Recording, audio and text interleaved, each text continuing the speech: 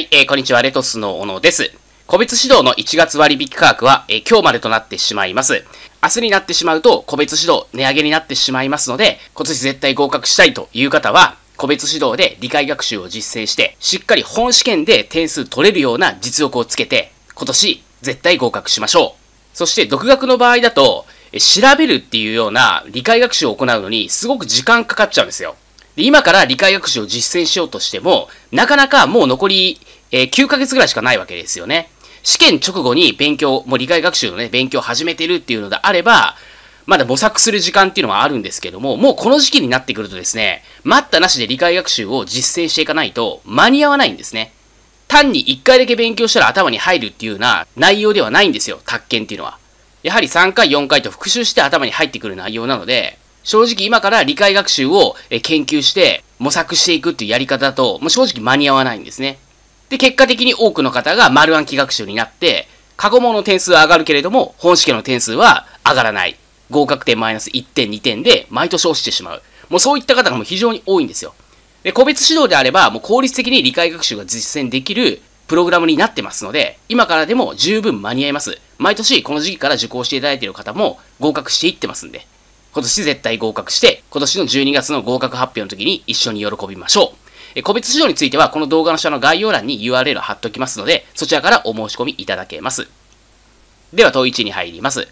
福祉の所有者は、医療地の所有者に代償を支払えば、事故の意思のみによって通行の場所及び方法を定め、医療地に通路を開設することができる、丸か×かという問題です。考えたい方は動画一旦ストップしていただいて、この動画の下の概要欄から問題文ご確認ください。で、答えは×です。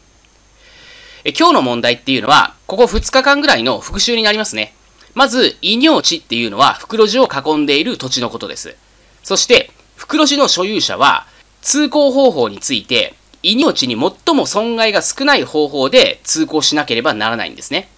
つまり、袋地の所有者の意思で通行場所とか方法を決めることはできません。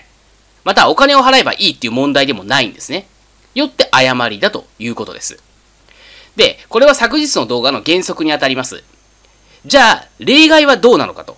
すっと頭に出てこない方は、まだまだ理解学習不足です。こういった場合は、こういったルールを使うというような具体例が頭に入ってないと、本試験で頭が真っ白になってしまうんですね。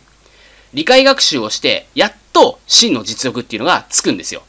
上辺だけの学習では本試験では太刀打ちできませんので、わからなかった方は再度ぜひですね、昨日の動画を復習しておきましょう。昨日の動画は、この動画の最後にリンク貼っておきますので、そちらからもご確認いただけます。で、続いて問い2に入っていきます。宅建業者 A が自ら売り主として宅建業者でない B と建築工事完了前のマンション、代金3000万円の売買契約を締結した場合、A が B から手付金600万円を受領する場合において、その手付金の保全措置を講じていないときは、B はこの手付金の支払いを拒否することができる丸か×かという問題です。え、まず、売り主は宅建業者、買い主は宅建業者ではありません。したがって、まあ、ハッシュ制限の適用があるんだということですね。で、建築工事完了前って書いてありますので、これは未完成物件ということですね。ということは、手付金等が代金の5%を超える場合、保全措置が必要になります。じゃあ、代金の5%っていくらかっていうと、代金3000万円なので5%は150万円ですよね。で、150万円を超える手付金等を受領する場合、事前に、まあ、事前にっていうのはこれ、え受領する前ってことですよ。手付金等を受領する前に保全措置が必要だと、まあ、いうことになります。で、今回の問題600万円を受領する場合ですよね。で、この600万円について、保全措置を講じていないんですよね。で、この場合は、飼い主 B っていうのは保全措置していないなら、手付金払いませんよと。支払いを拒否することができます。まあ、従って丸になるということですね。で、個別指導では関連ポイントも一緒に解説していきます。で、関連ポイントも一緒に勉強することで、頭がごちゃごちゃにならないようにするんですね。つまり、ま整理をしていくっていうことです。勉強を重ねていくと、知識がどんどん増えていくので混乱していくんですよ。それを防ぐために関連ポイントを一緒に学習して、整理をしていくんですね。まあ、これも効率的な勉強法の一つなので、ぜひですね、独学であったとしても予備校を通っている方だとしても、もう自分自身でね、整理できるようにしていきましょう。で、個別指導の受講者さんについては関連ポイント、まあ、あの、関連する問題ですね、をプラスアルファで追加しています。なんで、そちらもですね、受講者専用のメルマガでご確認いただければと思います。で、問い3です。都市計画の決定または変更の提案は、当該提案にかかる都市計画の素案の対象となる土地について、所有権または借地権を有しているもの以外は行うことができない。丸か×かという問題です。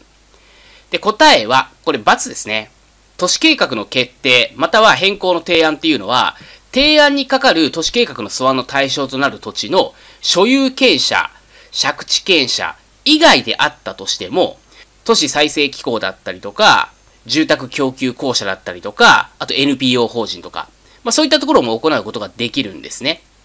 つまり今回の問題は所有権または借地権を有しているもの以外は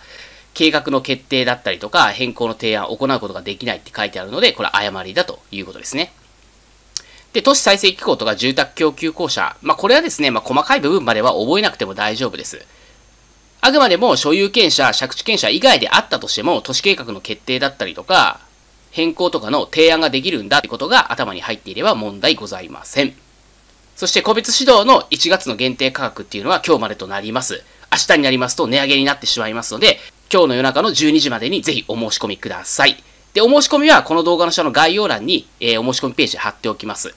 また個別指導の概要っていうのはこちらの右側の動画ですね。こちらをご確認ください。そして左側の動画は問い1の命通行権の動画解説になりますので、今日の問い1の例外部分が頭にスッと思い浮かんでこなかった方はぜひ再度ご確認ください。今日も最後まで動画をご覧いただきましてありがとうございました。レトスの小野でした。